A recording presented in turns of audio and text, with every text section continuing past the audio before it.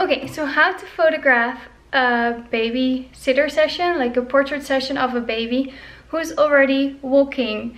Uh, so how do you get the baby to stay in one place? So you can take some portrait photos, like some close-ups, some full body shots, some just some fun diversity in your gallery, how to do it if they keep running away. So today I have a little boy coming in and his mom really wanted to book a sitter session. However, most sitter sessions are for babies between 7 and 9 months old, pretty much. So they just learned how to sit by themselves, uh, but they can't walk yet. Some don't even crawl yet. So they'll just sit there smiling, being happy. You can sing songs, play peekaboo.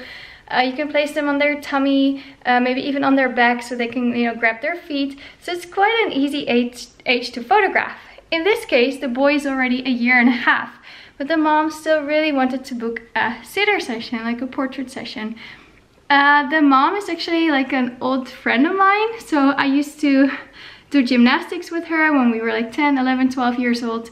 we went to the same school. I haven't seen her now in like 15 years, uh, but she emailed me that she has a little son. She lives in the UK and she's here in the Netherlands visiting her family. Um, so she wanted to book a session. So we're just gonna try it today. Try to keep the baby in one spot to take some photos. I mean, he can move around, but it would be nice that he doesn't leave the set within a second so that I can take a few more photos, uh, but we'll see how it goes. So coming into the studio, you see here outfits. Well, the good thing is, is that he will still be able to fit uh, these outfits, so that's no problem. Changing table, we might use it, we might not. Some babies, when they're a little bit older, they don't want to be changed on the changing table. She can change, change him where she wants. So we have four sets here. And what I try to do is I try to place him in like bigger bowls. So like higher bowls. Uh, this one is from Ikea. It's like a banana leaf bowl. It is a little bit more like lightweight. So either you place some weights inside to weigh it down or you have the mom sitting right next to the basket so she can like hold the basket in place if the baby starts leaning forward. Try to distract him a little bit with a hat. Babies love to pull off hats. Uh, maybe like a rocking horse so that you entertain him a little bit. For the second which is the dark wood, I have another bowl. So either he climbs out, but that gives me a few seconds to take photos while he's climbing out, it'll stay seated inside. So this one is really heavy by itself. Um, they used to um, use these kind of wooden baskets to make cheese in. That's what someone told me. I bought it at like an antique market. Um, if he's, you know, not really enjoying it, maybe give him a plant to hold because that might uh, distract him a little bit. Again, maybe a hat that he can pull off. Uh, also, I have a little chair here that he can sit on. Usually babies, like a year and a half, two years old. They love sitting on chairs. If he's still really tiny and his feet won't um, reach the floor, I might not do it because I don't want him, of course, to fall forward. But again, the mom will be right next to him. And then here we have the mint green situation. So I have two options. I either place the baby in the bucket. It will be really hard for him to climb out of this one.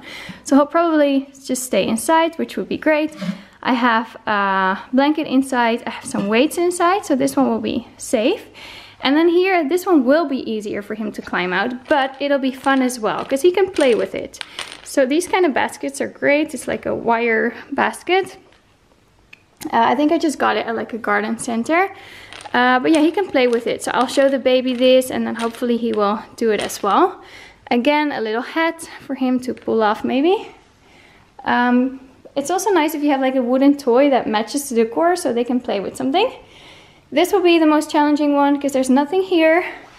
I just want him to sit here. Maybe he can crawl forward, um, lie on his back. I don't know. But there's nothing here yet because I also want some photos without buckets.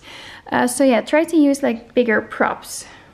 So usually what I do um, when I want them to look at the camera, I have this little wooden toy uh, in some decors they can even hold it because it really matches the decor. I have like this wooden uh, camera as well, like a toy wooden camera. I'll place a photo in the screen right now. You can get it anywhere on AliExpress. If you type in like wooden camera, uh, you'll get it there. And it's really cute for the babies to hold as well because they're doing a photo session. Um, yeah, if they start like biting into everything, like drooling on it, holding it in front of their face is maybe not the best idea. Then a quick DIY. Here I have a little toy with like uh, these wiggly eyes. Wiggly eyes, that's what they're called. So you can buy these kind of wiggly eyes. Here you see them. Uh, they're kind of like cute. Normally you can hold them like on your hand. Um, so what I did is I have here um, like a cleaning device. uh, so this is something to clean with. And yeah, you can actually like, it's like a telescope um, handle, I don't know. Um, and I just added the eyes onto it. So it's kind of like a cute little uh, worm. Let's call him a worm right now. Uh, and even like the mom can stand behind me and like tickle the baby with it. Uh, but she has to stand like immediately behind my head pretty much. So when he looks at her, he actually kind of like looks at the camera. I can hold it as well while taking the photos. Uh, but you know, if you can work together with the parents, it's sometimes easier. So it's a very DIY. You just buy like um, a, du a, dusty dust dust thingy, and then you add like the eyes, and it's kind of cute. And you can tickle the babies, and hopefully they'll like it, and they'll smile at you. Yeah, hello. I might use it today as well. Hello. it's very cute. Uh, so yeah, very easy to make yourself. Uh, I had a pink one as well. I don't know where I went, but this one's good for today.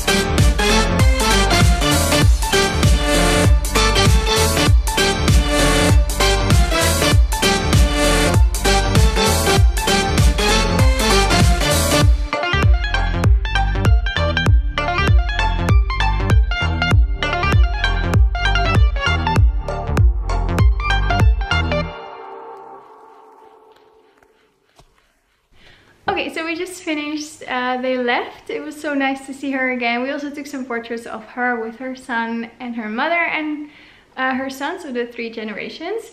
Uh, I filmed snips and bits, so you could see that he really liked my worm. So I actually placed on Instagram as well a little bit about my worm and I asked people to um, give me options for his or her name. Um, so it might have a name by the time you're watching this video. But for now, it's just a worm. Um, so yeah, he really liked it. So he was really responding well to it. It made him smile. He was actually such a sweet boy who kept in one, well, like he stayed seated for most of the time. Like in the, with the last course, he wanted to walk away. But even on his tummy, I could take some photos um, of him lying pretty still. He really loved my little toy as well. So we just had, you know, had him hold it in a few photos. Um, but I think I captured some really good ones. The chair was perfect, perfect size for him. So he turned one in June. It is the beginning of October, like the 2nd of October. So that age works perfect with like a little chair. Um, but he was just a happy, smiley kid. And of course, yeah, he was crawling away and he was standing up and walking away. But I could still take a good amount of photos of him with the help of this worm. Uh, he did not really like to have like heads on his head, so he kept like pulling them off really fast. But I think I also have a few photos of him like wearing his hat. Uh, the first outfit he was wearing was what the mom brought with her. Uh, the other ones were mine in combination with his own romper and well, we just made it work. Um, so very cute little boy and it worked really well. So yeah, super easy DIY. Um, so yeah, thank you so much for watching this video. I really hope you enjoyed it. Please like, subscribe, and leave a comment. I love reading your comments and then hopefully I can see you in the comments section and you can see me in my next video. So thank you for watching. Bye bye!